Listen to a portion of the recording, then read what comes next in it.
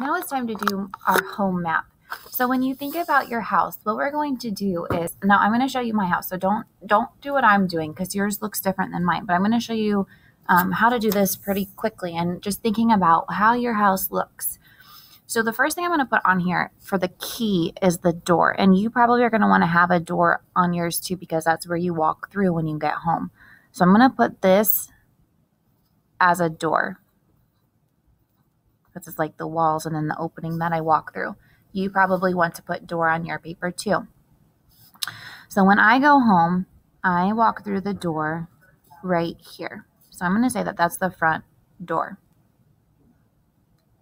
Okay, the next thing I'm going to do is draw the different rooms in our house. So over here, when I walk into the door, over here is, and then I'm going to label it here because I'm not going to put it in my key because I only use it one time, Elsie's Playroom. Okay, and then we have another room here.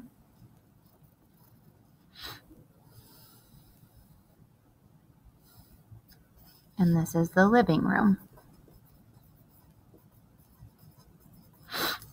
And then if I move it over here, this is a bathroom and then a bedroom. And then we have more bedrooms over here. Okay, so these are all bedrooms. This is a bathroom, bedroom. Here's the kitchen, bedroom, bedroom, bedroom. And then I think the key things I'm going to put on here probably are going to be like the couch, which is going to be like this couch, and then maybe some chairs. So I'm going to make this a chair. And then how about a bed? I'm gonna try to make a bed.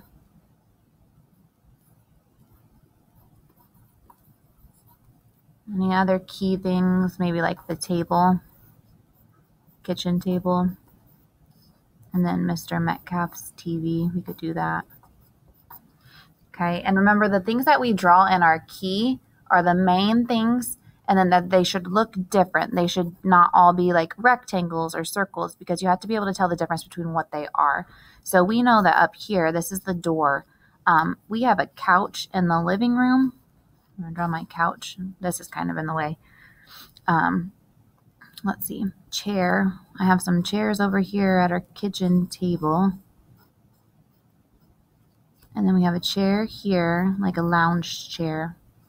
We have a chair in here for Elsie's playroom. Okay, let me see what else I put on here. Oh, bed.